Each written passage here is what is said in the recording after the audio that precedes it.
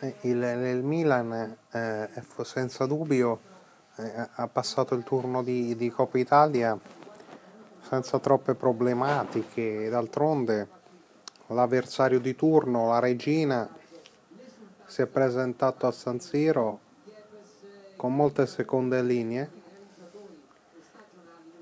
E quindi voglio dire per campioni del calibro dei rossoneri non vi è stato grande problema c'era necessità del Goldsbrook a partita che è arrivato al 51esimo con un cross pennellato di Manuelson per la testa di Mario Iepes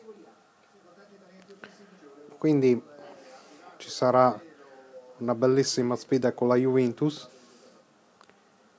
Nei quarti di finale di Coppa Italia o se preferite chiamarla tem capa.